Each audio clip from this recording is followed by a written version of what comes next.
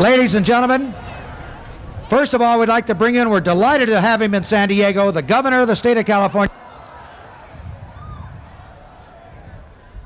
This city was the president's last stop before his 1980 overwhelming landslide victory.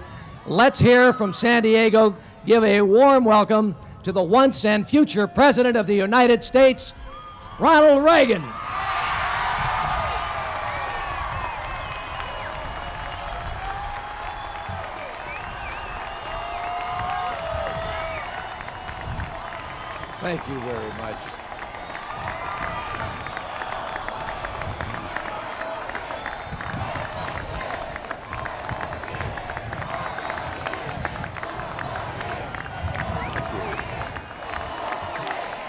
Thank you very much. Thank you. Well, thank you, Senator Pete Wilson, Governor Deukmejian, and it feels good to be back in California and with you here in San Diego.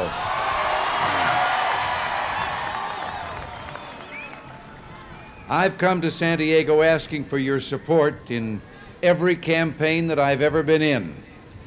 And I'm here today to ask this last one time.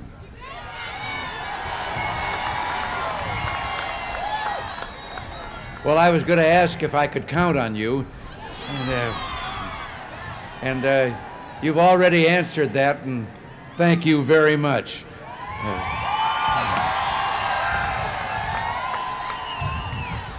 I see something here I've been noticing all over the country. The large number of young people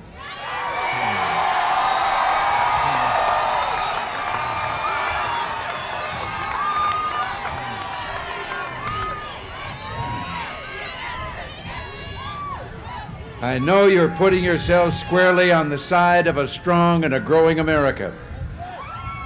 People of every age, race, and background are flocking to a banner of opportunity. And nowhere is that more clear than in California. Disadvantaged Americans are waking up to the failure of bureaucratic programs to bring them the economic opportunity they need to make real progress. I'm especially pleased that Hispanic Americans who are so important to our California heritage are joining us in increasing numbers. And here in California, we also see our coalition bolstered by Asian Americans, many of them recent immigrants who have come here like our own forefathers and mothers for freedom and to improve their well-being. Earlier this year, there was a candidate who claimed to be building a rainbow coalition. Well, we're building an American coalition, and that says it all.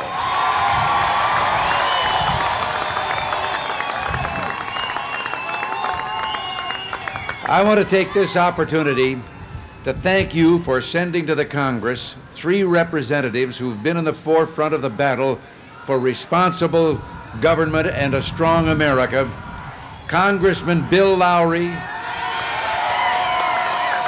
Duncan Howard, Hunter, and Ron Packard.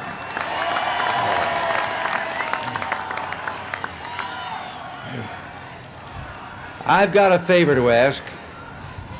On election day, make sure that you send them back to Washington. Because if you're going to send me back there, I don't know what I'd do without them. You and all these fine candidates are part of a new spirit that's spreading across America. You know, I assume that maybe some of you saw the debate last night. Oh, oh. Well, the, the format for the debate is sometimes frustrating. When the other fellow's making a lot of misstatements, you don't have time always to challenge them. So last night I told the people, for example, that Mr. Mondale had voted to kill the F 14 fighter plane.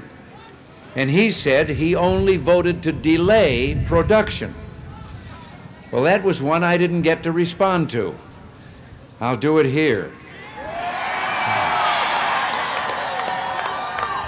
On September 29, 1971, he voted on an amendment by Senator Proxmire to kill the F 14. That was no vote to delay, that was a vote to delete. Unfortunately, he failed. The planes that did that job that the senator was referring to, they were F 14s. You know, as election day nears, the American people are getting the full flavor of the very clear choice facing them. Is there an echo out here? It's a choice between two fundamentally different ways of governing and two distinct ways of looking at America. My opponent, Mr. Mondale, offers a government of pessimism, fear, and limits compared to ours of hope, confidence, and growth. He sees, he sees government as an end in itself, and we see government as something belonging to the people and only a junior partner in our lives. They see people as merely as members of groups, special interests to be coddled and catered to. We look at them as individuals to be fulfilled through their own freedom and creativity. My, my opponent and his allies live in the past, celebrating the old and failed policies of an era that has passed them by, as if history had skipped over those Carter Mondale years.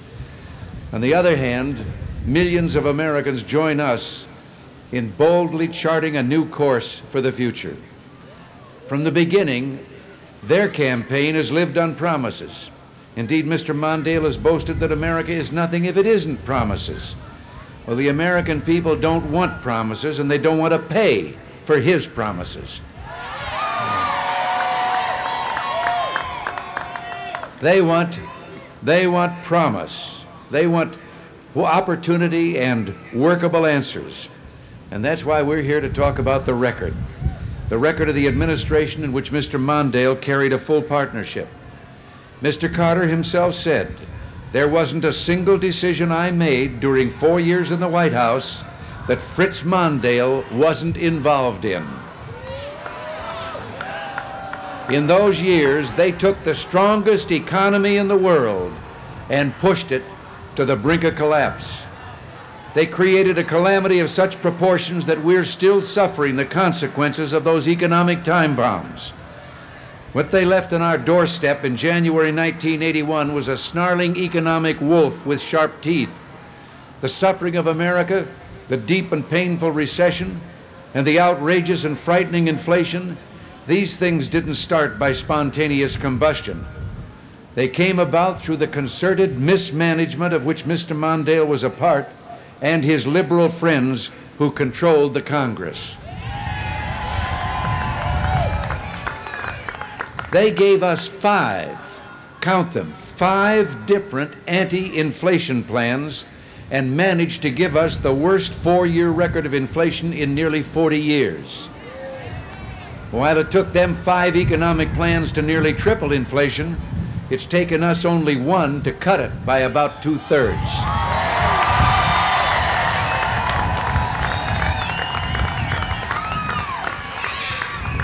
Senior citizens.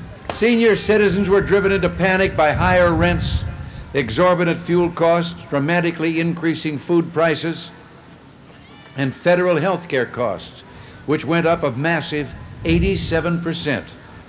And they called that fairness. They punished the poor and the young, who struggled as prices of necessities shot up faster than others. Millions of Americans led a life of daily economic terror, fueled by these unrelenting costs, and they call that compassion. Well, let's look at interest rates. My opponent has referred to something he calls real interest rates.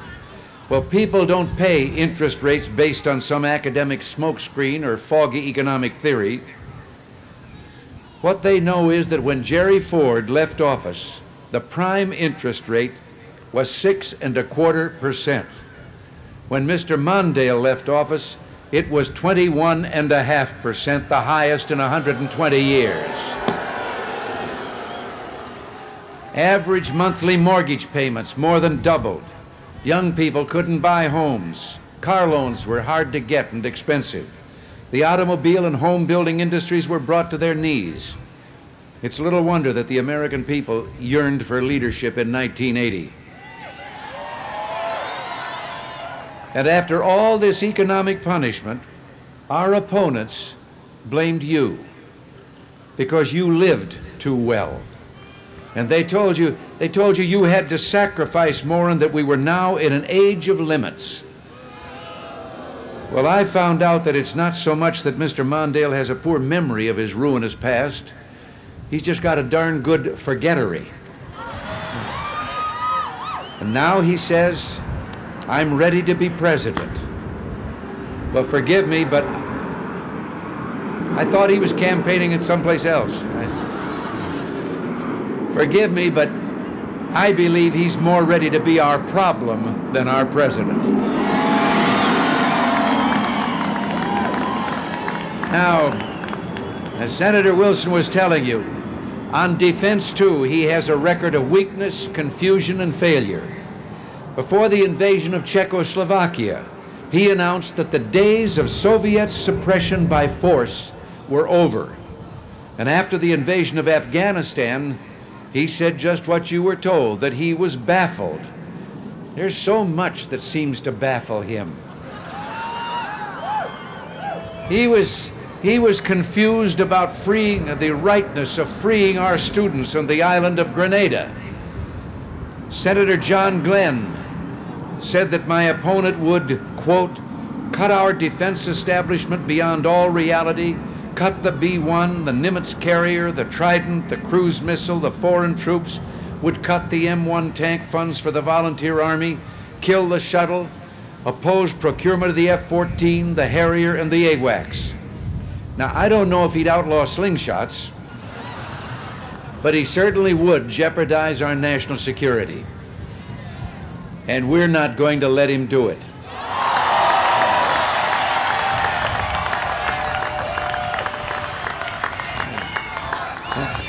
All right.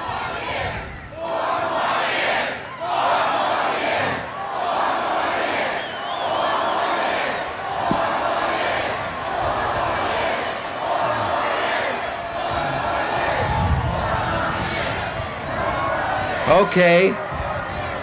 All right. And you know, if the capital were in California, I'd agree to 40.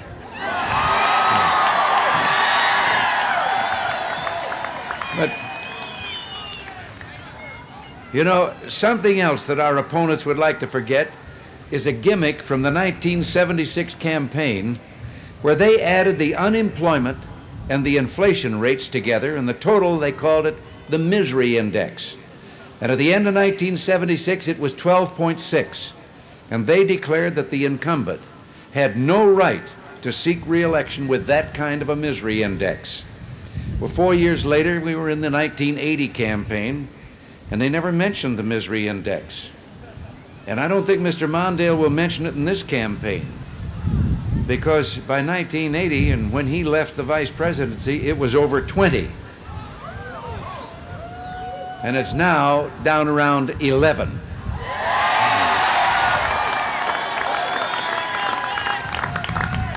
My opponent has done a very good job of trying to slip, slide, and duck away from this record. But we know now that those disastrous consequences didn't come about by accident. They came through the implementation of the very policies of out of control spending, unfair taxation, and worship of big government that my opponent still supports. His philosophy can be summed up in four sentences. If it's income, tax it. If it's revenue, spend it. If it's a budget, break it. And if it's a promise, make it.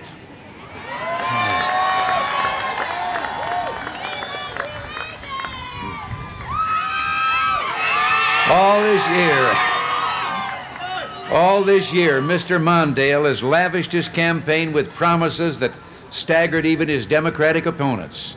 Senator John Glenn was heard to say in frustration that Mr. Mondale, and I quote, has just promised everything to everybody with no thought of how it's going to be paid for. And Gary Hart said, Fritz, you cannot lead this country if you've promised everybody everything.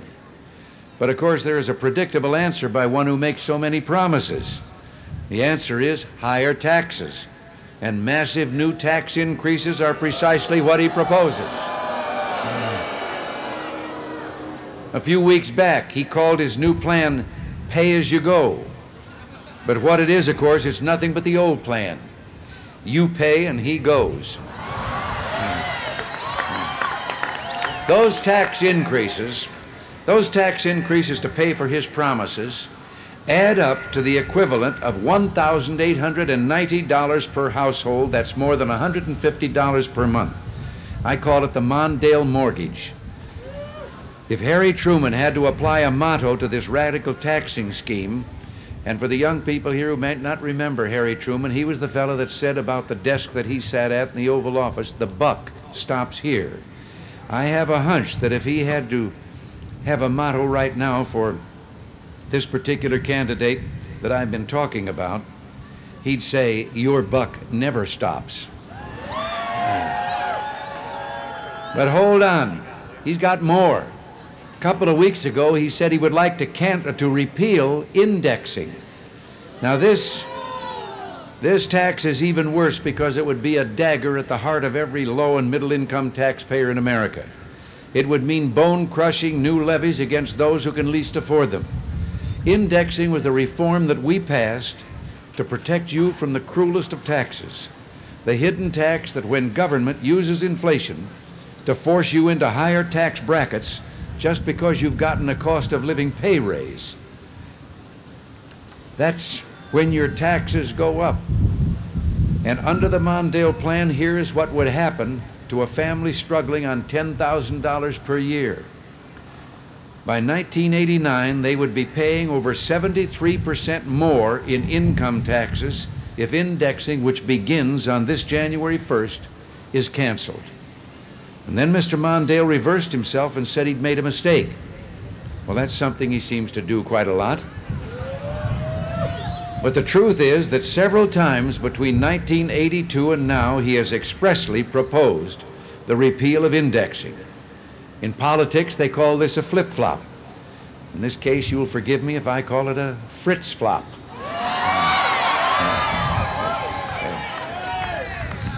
Yesterday, he wanted to give you a $200 tax break to every family dependent. And today, he wants to raise taxes the equivalent of almost $2,000 a household. You know, for some time, over the last several weeks at least, he was talking about a new Reagan and an old Reagan. Now, that had nothing to do with my age. The old Reagan was the earlier one.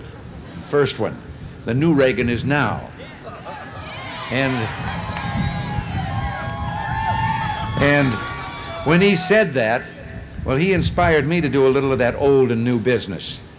The old Mondale is on record as saying that reducing deficits could worsen a recession. The new Mondale thinks higher taxes lead to a healthy economy. The old Mondale publicly supported Jimmy Carter's wrong-headed grain embargo, and the new Mondale claims that he opposed it privately, very privately. The old Mondale sponsored National Bible Week. Well, old or new, I'm with him on that one. The new Mondale, but this new Mondale says there's too much religion in politics. The old Mondale called the space shuttle a horrible waste, a space extravaganza, and he personally led the fight in the United States Senate to kill the shuttle program before it even started. And the new Mondale praises American technological achievement. But just when you are beginning to lose faith, you find that there is some constancy with him. The old Mondale increased your taxes, and the new Mondale will do it again. Uh, you know, in our debates, I got a little angry all those times that he distorted my record. And on one occasion, I was about to say to him very sternly, Mr. Mondale, you're taxing my patience. And then,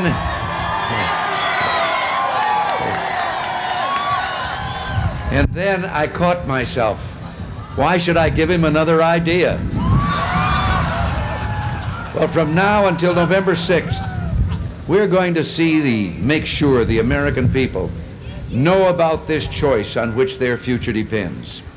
We have two roads to tomorrow the road of fear and envy that he proposes, on his road, you frighten the elderly with false statements. You strive to divide Americans against each other, seeking to promote envy and promote greed. Franklin Roosevelt warned us the only thing we have to fear is fear itself. Well, sadly and tragically, the only thing that my opponent has to offer is fear itself. And that's the, that's the difference between us. We see America's best days ahead of us we see ourselves in a springtime of hope, ready to fire up our courage and determination to reach high and achieve all the best. We see a life where our children can enjoy at last prosperity without inflation. We see a life where they can enjoy the highest of creativity and go for the stars and not have their hopes and dreams crushed or taxed away by greedy governmentalists. In 1980, the American people declared their independence all over again. We realized that when we went from good government to big government, it was time to put our house back in order. Today, we've returned to a proper understanding of who the American people are. We're the people who crossed the plains, scaled the mountains, won the West. We're the people who came up with the inventions that lit the world and filled it with sound and laughter. We're the people who twice in this century have fought in Europe and stood for decency for all mankind. We're, we're a people, in short, who don't need the supervision of government sophisticates to tell us what is right and good. And now, the American people are walking into tomorrow unashamed and unafraid. They're ready for this great new era of opportunity. And once again, I want to refer to these young people who are with us and these young people all over the country. I, I didn't, I didn't get to finish last night what I was going to say. We ran out of time. What I had already said is that all across this country, in high schools, in schools, on college and can, university campuses, and among younger people who have finished education and started out into life. Seen them all across this country. And believe me, to the rest of you or of those other generations, these young people today are very special. Yes, you are. And you know what? The responsibility, and this is what I was going to say last night the responsibility of my generation and those generations between mine and yours, our responsibility is to see that you grow up in the same kind of country that we grew up in, a country of hope and opportunity.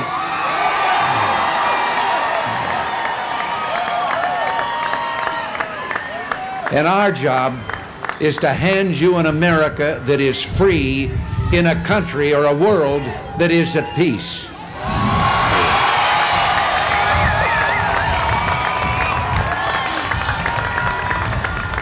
And now, and I, all right, all right.